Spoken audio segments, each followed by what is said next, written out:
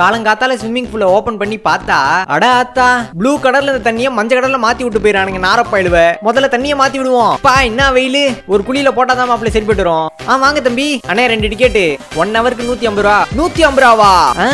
நூத்தி ஐம்பது ரூபா தான். அண்ணே ஒரு இருபது ரூபாய்க்கு. நேதே அண்ணே அதை விடுங்கண்ணே. மேல இருந்து குதிக்கிறதுக்கு படிக்கிட்டேங்கண்ணே. மேல இருந்து குதிக்க போறியா?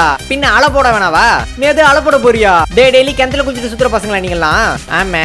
தம்பி இங்க அப்படிலாம் பண்ணக்கூடாது. இங்க ரூல்ஸே வேற. ஜெர்சி கிளாத்ல ஷார்ட்ஸ் போட்டு தான் தண்ணிலேயே இறங்கணும். முதல்ல உங்க திங்ஸ் எல்லாம் அங்க வச்சுட்டு ட்ரெஸ் சேஞ்ச் பண்ணிட்டு ஷவர்ல குளிச்சுட்டு.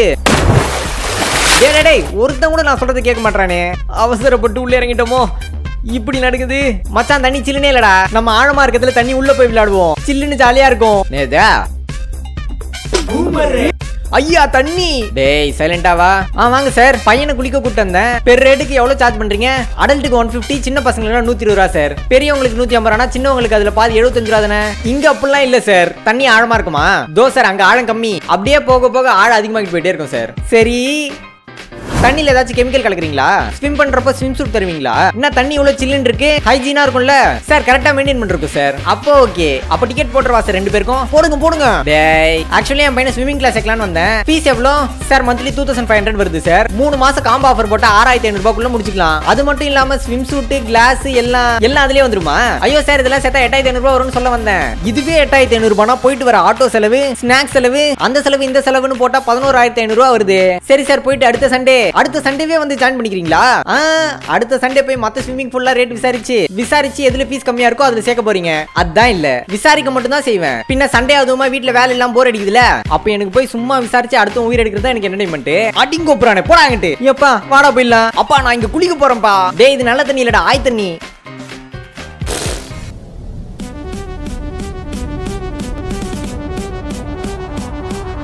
மச்சான் அங்க பாரு. இவனா? தம்பி நீயாப்பா?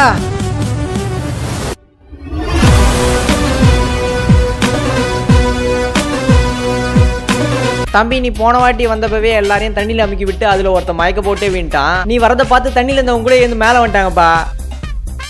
அண்ணே இந்த முறை அந்த தப்பெல்லாம் நடக்காது. நல்ல வேலை திருந்துட்டியா? இல்ல அமுக்கிறதுக்கு ஆளை கூட்டினட்டேன் அது யாருப்பா? அவ்வளவு அப்பாவியா? அவனா? டேய்.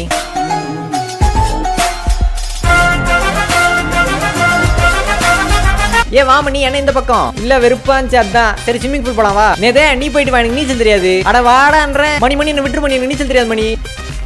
சரி போய் குளிங்க. மச்சான் ரொம்ப ஆழமா இருக்கும் போலயே. அட குதிரா ஏம்மா? ஐயோ காப்பாத்துங்க காப்பாத்துங்க. டே டேய் காலை கீழே வச்சுட்டு இருந்து நில்லு. காலை கீழே வைக்கணுமா? என்ன ஆழமே இல்ல? இதுக்கு இவ்வளவு சீனு படா அப்படி. என்னப்பா எப்படி நடக்குது சில்லுன்னு இருக்கு ப்ரோ தண்ணி. ஒண்ணும் முடியல. அப்படியா? இப்ப பாருங்க. அட இப்ப பரவாயில்ல ப்ரோ கொஞ்சம் சூடா இருக்கு. எப்படி? அதெல்லாம் அப்படிதான் ப்ரோ நீங்க இங்கேயே இருங்க. நான் ஆனந்துக்கு போய் நீச்சல் சொல்லி கொடுத்துட்டு வரேன். ஓகே ஓகே ப்ரோ என்ன தண்ணி ஒரே மஞ்சள் கடல்ல இருக்கு? டேடே டேய்.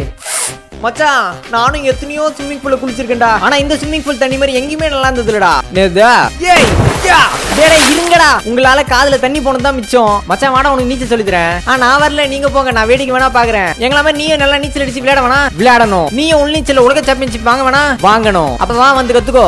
வரேன். ஆனா நல்லா பிரெயின் வாஷ் பண்றீங்கடா. அட வாடா. ஃபர்ஸ்ட் படுத்து காலை மேல தூக்கு. காலையா? தூக்குடா. போதுமா? அருணாக்கரை நான் பிடிச்சிக்கிறேன். கால்ல அரைப்படல் அடி அடி கையில துடு போடு. ஆ போடுறேன். போடுறா. ப்ரோ இதெல்லாம் பழைய டெக்னிக் ப்ரோ ஃபர்ஸ்ட் சுவாச பயிற்சி கொடுக்கணும். நீ நல்லா தண்ணி உள்ள போ. மூச்சை பிடிச்சிட்டு ஒரு கால் மணி நேரம் இரு. சும்மா கால் மணி நேரமா? அட போடா. அம்மா டேய் மொக்க டெக்னிக்லாம் சொல்லி தராதீங்கடா நீங்க வாப்பா. அப்படியே மொத்தமா உள்ள போ. போ. தவளை மாதிரி கைய கால ஆட்டி முன்னாடி வா. அட வாப்பா. டேடே என்ன உயிரோட வாச்சி விட்டுருங்க. எனக்கு நீச்சலே வேணாம்டா. டேடே டே பயப்படாத. நாங்க யாருமே உனக்கு சொல்லி தர மாட்டோம். நீயா நீச்சல் கத்துக்கிற மாதிரி ஒரு ஐடியா இருக்கு. பண்றியா? அது வாச்சு சொல்றா பண்ற. சரி வா. இந்த பக்கம் தான் ஆழமா இருக்குன்னு சொன்னாங்க. ஆனந்த இங்க வந்து நில்லு. இங்கயா? போடா.